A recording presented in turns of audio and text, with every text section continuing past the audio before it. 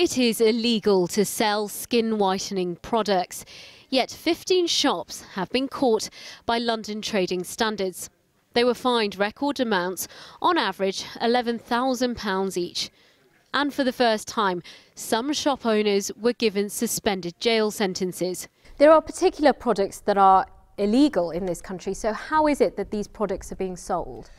Uh, it's a combination of demand and it's also just a combination of greed. Uh, people know that if they sell the products and they're effective, customers will come back. We were finding that people were buying products for maybe 50 pence from the wholesalers and selling them for up to 10 pounds. Skin lightening creams are popular in the Asian and Afro-Caribbean communities, but they include poisonous chemicals like hydroquinone and mercury which can cause organ failure and even cancer. We are aware that there's it's a very widespread problem, and as London um, develops and changes, um, there's a constant demand and supply of these products. Those people might say, I want to lighten my skin, why can't I?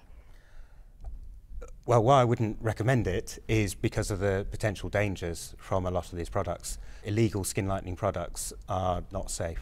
With the demand the way it is, though, are you fighting a losing battle given that some of these products are available on the internet? The internet's a growing problem, um, and that's something that London Trading Standards is looking into more, and more enforcement action is taking place.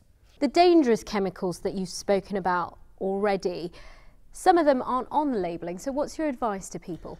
If it hasn't got a European address on it, then um, outright you know that it isn't approved for EC. Secondly, look at the ingredients. If it's got detailed um, ingredients on, that's a good sign.